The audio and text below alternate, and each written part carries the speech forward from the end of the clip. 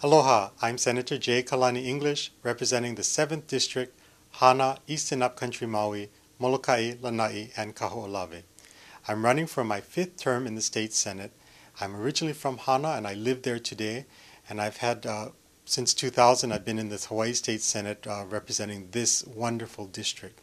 So I'm looking forward to the fifth term in this uh, in the Hawaii State Senate and looking forward to representing you in the legislature.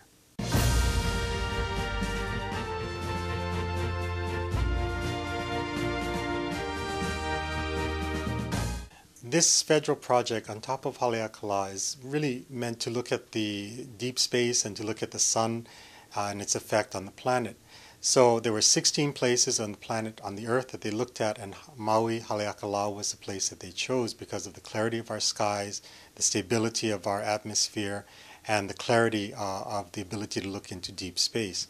So this project has been going since uh, mid 2000s until the present. And one of the big issues around it, of course, has been the cultural sensitivity and the uh, Hawaiian issues uh, and the sites close to this particular area. This is a partnership of 22 institutions uh, around the world uh, working with the University of Hawaii and our, our Astronomy Institute. Um, so there's many good things about it and there's some downsides about it. I think that when we look at it, we have to first be very sensitive to the cultural and social environment that this telescope is coming into. Um, Haleakala is getting filled. Uh, we're getting a little bit crowded up there, and I think we have to look at the master plan for the whole area and know when to say this is the last one or no more, and uh, when to say that we've built to our capacity on the mountain. So, you know, from a scientific standpoint, I think we have to support this project because we need this information for really it's for our satellite communications and looking at uh, how the sun affects the satellites and the communications that we all depend on cell phones TV etc but we must always have to watch and ensure that the cultural part is taken care of that the Hawaiian aspect is uh, honored and that our people are honored and the access to the, the sites are maintained. So yes support it but make sure that we maintain the cultural aspects.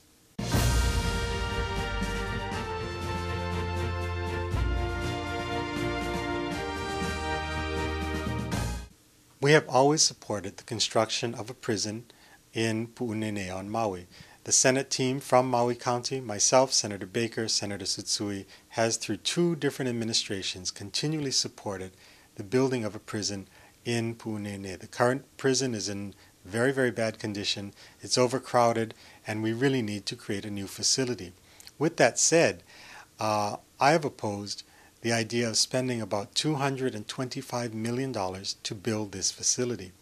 Yes, we need the facility, but if we're going to spend that kind of money, we really should put it towards a world-class university here on Maui. Improve uh, University of Hawaii Maui campus, make it into a full college, a full university with that kind of money. So yes, we we we really support building the prison. We want to bring our, our prisoners home from Maui. Uh, we want to have humane uh, humane facilities for them. However, the cost is just too great at this time. So in the end, we're going to support the prisons, but we're going to try to find a way to bring down this huge cost to make it both affordable and functional for our society.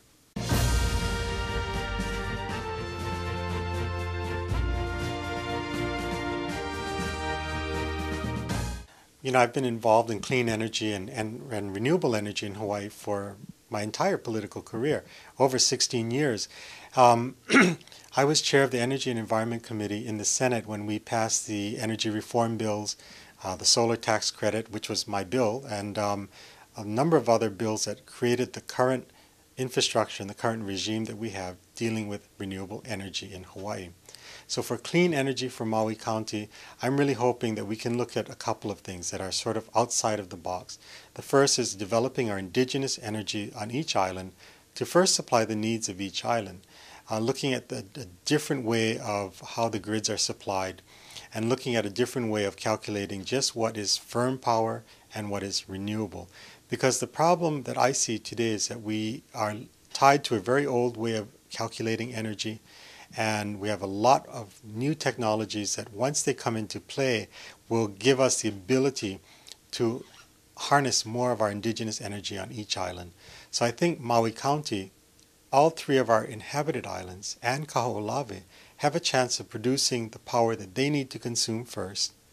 And then we can look at how we can uh, how we can bring in the newer technologies such as wave energy and um, uh, algae uh, energy, etc., so that we can build on what we have.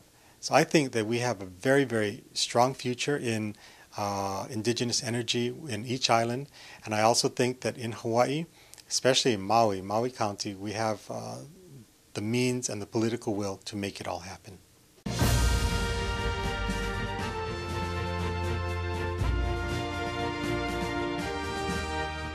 Mahalo, I'm Senator J. Kalani English running for the 7th Senatorial District, Hana, East and Upcountry Maui, Molokai, Lanai, and Kaho'olawe.